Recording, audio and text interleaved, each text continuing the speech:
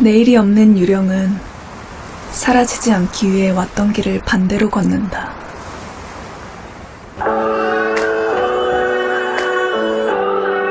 눈을 뜨기 전 병실에 누워있는 내가 보였다.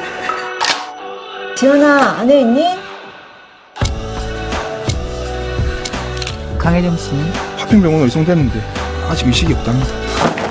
이거 정방식이 죽은 사건하고 수법이 억수로 비슷합니다.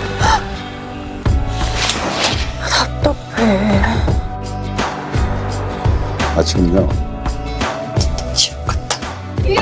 너 미쳤어? 아니 내가 죽었다고!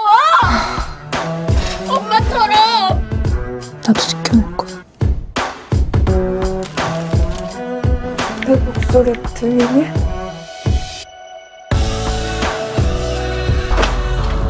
혼자서 외로웠지.